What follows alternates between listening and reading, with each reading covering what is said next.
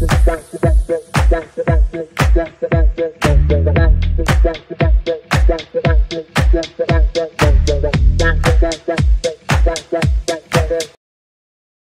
you ever wondered how political opportunism can impact the most innocent among us, our school children? Picture this, a week-long event called Palestine Solidarity Week, organized by the Ministry of Education in Malaysia. An event designed to instill empathy and support for the issues of Palestine. But here's where things take a turn. Educators, in an attempt to illustrate the conflict, brandished toy guns at schoolchildren. The result? Public outrage. This isn't a simple case of good intentions gone wrong. It's a glaring example of how political opportunism can seep into our education system, turning a platform for learning into a stage for political posturing. The intention might have been to teach empathy, but the execution was fraught with controversy and criticism. The children, who should have been shielded from the brutal realities of war, were instead exposed to a simulation of violence.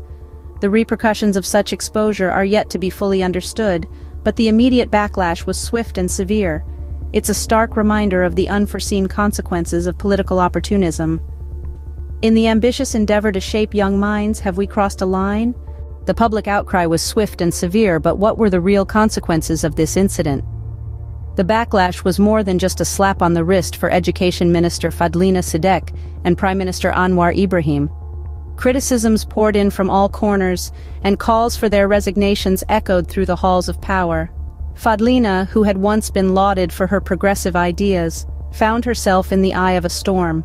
She had to justify a decision that had been seen as a grave misstep, a move that had thrust children into the throes of a conflict they were too young to comprehend.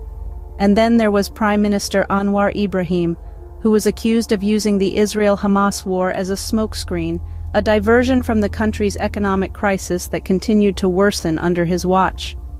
The ringgit was at its lowest point in history, and the cost of living was spiraling out of control. As the dust settled, it became clear that this incident was more than just a controversy. It was a stark reminder of how political opportunism and hypocrisy can overshadow the real issues that a country grapples with and how the innocent can be caught in the crossfire. In the face of political crisis do we lose sight of the real issues at hand. But what about the children caught in the crossfire of this political maelstrom? The ripple effects of the political opportunism we've been discussing do not stop at public outrage and political backlash. They reach far deeper, impacting our most vulnerable, our children.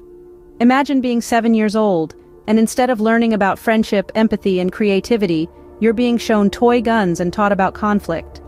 This isn't just an education issue. It's a matter of child development, of molding young minds in an environment that should be promoting growth, not division. The images of violence and conflict, even when they are symbolic, can have profound effects on young minds. Children are impressionable and their understanding of the world is shaped by what they see and hear. Exposing them to violence at such a tender age can lead to a warped perception of the world, where conflict is normalized and peace is an exception, not the rule. So what's the alternative? How can we ensure our children grow up in a nurturing, positive environment, even when the world outside is anything but? The answer lies in policy. Policymakers have a responsibility to keep politics, guns, and violence out of schools. They should be promoting an education that teaches coexistence, compassion, and understanding, Imagine if that same week dedicated to Palestine solidarity was instead used to educate children about different cultures, religions, and ways of life, about how, despite our differences, we can live together in harmony. That's not to say we should shy away from teaching children about international politics and conflicts, but it's about the manner in which we do it, with sensitivity, with respect for young minds, and with a focus on peace, not division.